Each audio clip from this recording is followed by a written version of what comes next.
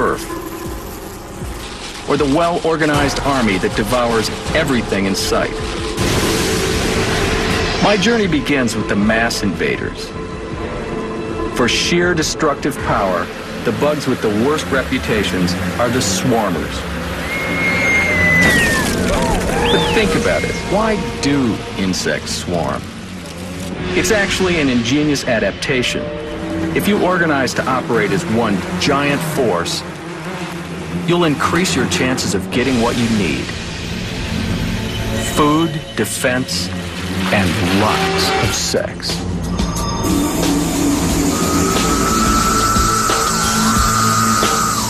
I'm checking out what's perhaps the most sexually enthusiastic invader of all. You've heard about it, maybe even seen it. But do you really know the straight facts about the periodical cicada? But something very strange is about to happen in this quiet suburb. For the insects, it's going to be the best debutante ball ever. But for some residents of University Park, Maryland, it's going to be a nightmare. Millions in the yard. That's disgusting. They're all over the ground. Ugh, I don't. A million of them is just no. That's not cool. They're too large for insects. Beady red eyes. The wings. I just. It's just gross. Periodical cicada nymphs burrow underground, trapped in solitary confinement, slowly growing for 17 years, very slowly. In fact, they are the slowest growing and among the longest living of all insects. Their sharp beaks pierce tree roots, sucking up sap. It's like feeding for 17 years on a giant milkshake. This subterranean internment could also be the longest period of sexual abstinence in the animal kingdom. And after all those years, when the conditions are just right, they stir. Now the soil has reached 64 degrees. The nymphs crawl to the surface. The sun sets. It's the moment they've been preparing for all their lives. They burst from the earth. An invasion of billions. And the moment has arrived. We've got bugs. Now begins the march. The bugs are programmed to advance to the top of the trees. They'll cover this tree climbing up there. But it doesn't have to be a tree. It could be a, a car, a porch step, a, even my legs. It's during this two-day journey between the ground and the treetops when they're at their most vulnerable. It seems everybody likes to eat them. They're not camouflaged, they don't sting. They're squishy, delicious, and rich in protein. Once they find a safe spot, they shrug off the last vestige of their childhood. And timing is everything. You see, if they came out a year late, they'd miss the party. There's no way they would find anyone to mate with.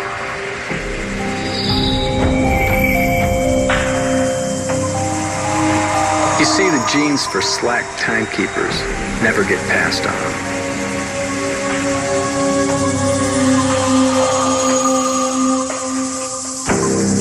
When they emerge from their nursery shells, their wings fan out. Their bodies turn dark and their eyes glow red. And they are ready for seduction. But the strangest thing about this is Why wait 17 years to have sex? Maybe it has something to do with evading predators. Consider an entirely different creature. Wildebeest, for example. They migrate en masse every year. But their predators catch on pretty quickly, adjusting their schedules to take advantage of the bonanza. But cicadas come out every 17 years. That's a long time to hang around for a steady meal. No predators have synchronized their life cycles to cicadas. Sure, they're still devoured, enthusiastically, but only as a special treat.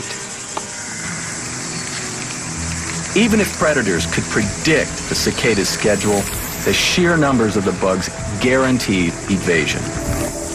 Billions swarm. Many will be eaten, but most will survive to mate and send their genes into the future.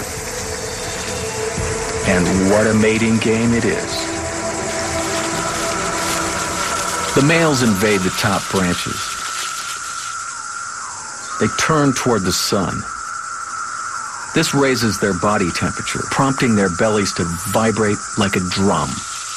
What sounds like a deafening racket to us is music to the female's ears. If she's interested, she'll come close and flick her wings. He sings, she dances. And then they mate.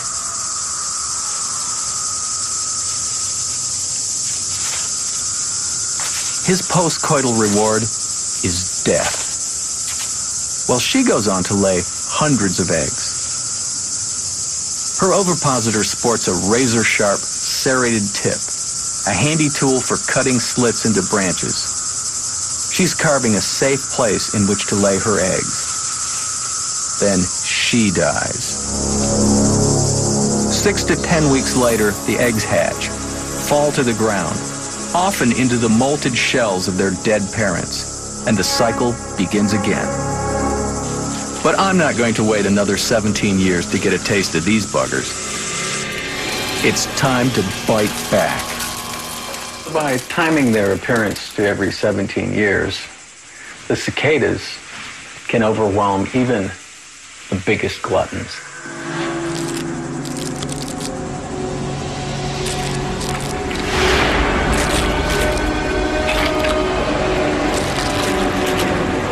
It's pretty astounding when a swarm takes over your neighborhood.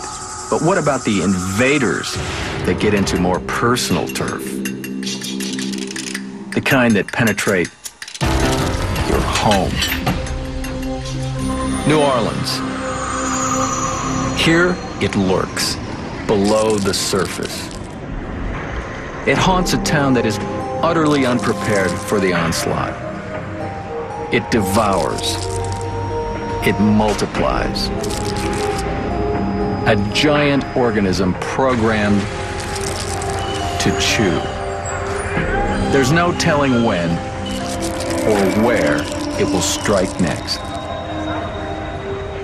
And if it wants your house, you are in deep trouble. David and Miriam Schulenkamp own a valuable Victorian home in the French Quarter. It's not just a nice house. It's an heirloom that's been in the family for a century. Now it's under attack. You didn't need to put your ear to the wall. If you were in the room, you could actually hear them without putting your ear up to the wall. There were there were millions of them in the walls. I mean, millions of them. There was no doubt about it. The Schulenkamps had termites. Worse, they weren't just any termites. These were formosans a voracious, invasive species. The local termite colonies are big, but the Formosans are twice their size. A million termites in one nest, and they seem unstoppable. They eat two and a half times more than the homegrown kind. About a thousand pounds of wood a year. Formosans come from Southeast Asia, probably hitched a ride on World War II cargo ships that were returning to Gulf of Mexico ports.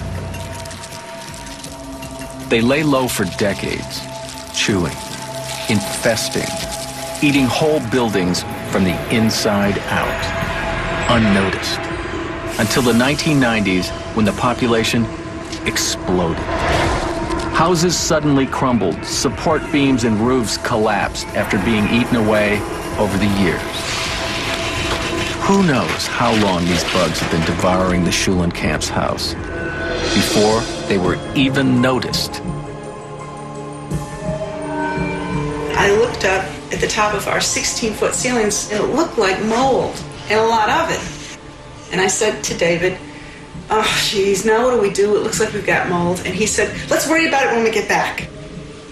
So we went out of town, and five days later, opened the door, came in, and there was mold on every single wall that faces the outside in the entire house.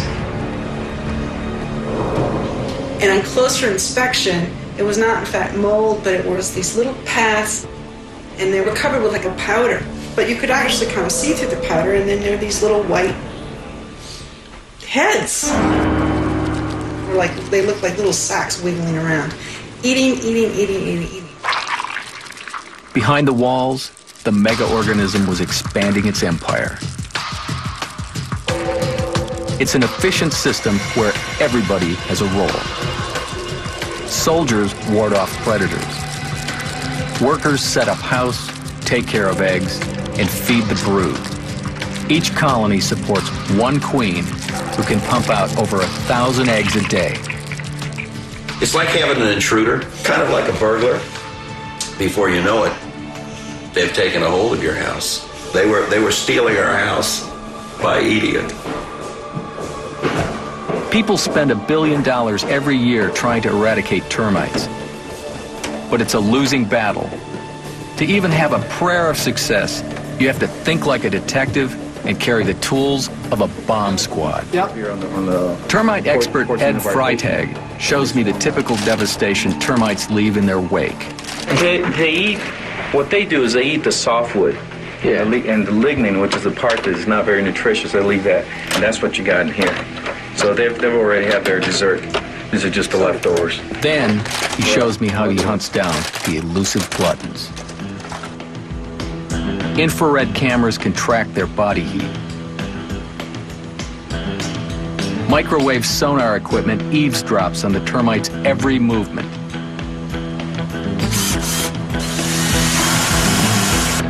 Borescopes with tiny lenses penetrate their hiding places. This is the kind of party that was going on in the Schulenkamp walls.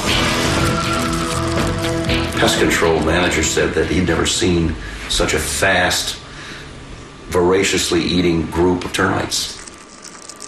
But the real trick for pest control was to find the source. Finally discovered it in the bathroom. They had nourished themselves with the water from a small leak in a bathtub drain. Termites thrive in wet habitats. It was here, under the bathtub, where they found her. The queen. A writhing bag of eggs.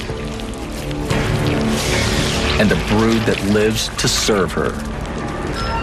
Every day that went by, she was churning out at least another thousand babies. Pest control told the Schulenkamps they had one chance to save their house. The tent. Tenting is the last line of defense when all else fails. It's like a massive hazmat suit, but one that traps the deadly infection inside. Then, methyl bromide blasts into every hole and crevice. No human is allowed to enter for three days. This is all-out war. After weeks of anguish and tens of thousands of dollars, the Schulenkamps finally rescued their family home. But there's no telling how long they'll be able to keep the bugs at bay.